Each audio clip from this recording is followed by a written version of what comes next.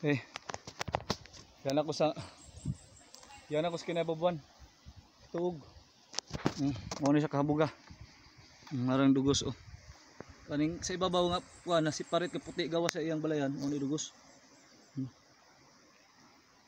Siya nabangag na siya gi kuan ako katunga kay gituntun sa pisi para ang pisi di masangit sa mga kawayan dito sa ubos.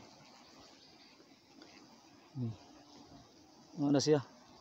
Taas kay sa dugsanan pero nipis-nipis lang. Pero kira kan sudlan man bisag karaan.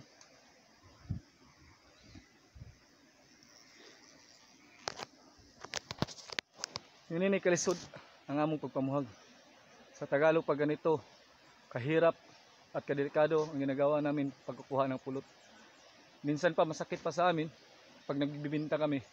Minsan pa may mga tao na hindi nakakalam, naghuhusga ng tao, ng kapwa nila tao at sabihin nila piki yung gina, binibenta namin. Masakit sa amin pero hindi na lang namin pinapansin dahil totoo naman talaga na may mga piki yung nagbibinta.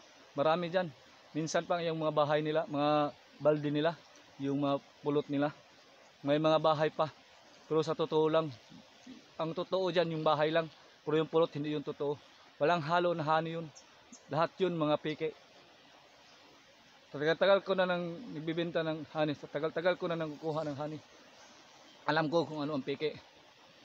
Kaya lang mga kaibigan, kung bibili kayo ng honey, hintayin nyo ang season kasi season yun eh. Summer yun ang, ang honey. Summer lang sila lumalabas. Kapag rainy season, walang honey yan. Yung nakaraang linggo, yung sunod-sunod na pag-ulan, umabot ng 7 days na pag-uulan. Yun, hindi na kami nakapaghanap ng dahil wala na. Tatlong araw lang na sunod-sunod na pag-uulan.